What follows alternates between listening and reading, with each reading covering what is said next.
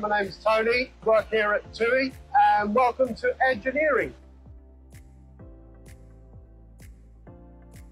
Uh, basically, they come in, we gain access, we take the uh, panels off, we get to inspect after that. Uh, we've got certain inspections in different areas, sometimes just a general look, sometimes detailed, and we find the defects, we fix them, we put it all back together and send them on their way.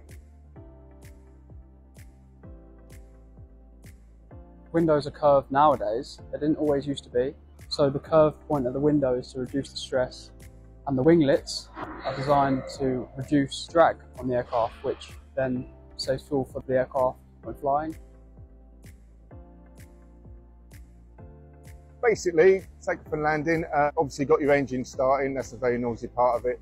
You've also got hydraulics running, uh, which is your flight controls. That's what actually gets it up in the air and uh, makes you go in certain directions when you're flying. And also, of course, when you land, you've got these reversers. Uh, they help you to stop I've always enjoyed being hands-on.